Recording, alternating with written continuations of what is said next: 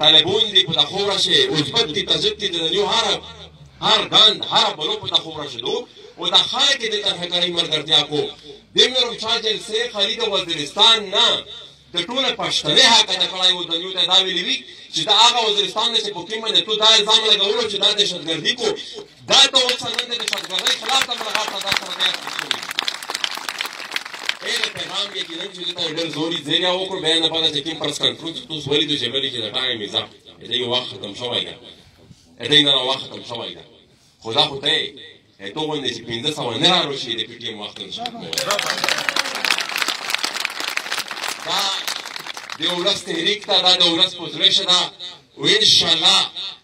دا ولس او دا قوم چې څه پر خپل مرام ته نه وي سوالای دا تحریک نشي ختمېدلای دا به خلک په زړه شي تر اخره پر راوي ان شاء الله او دې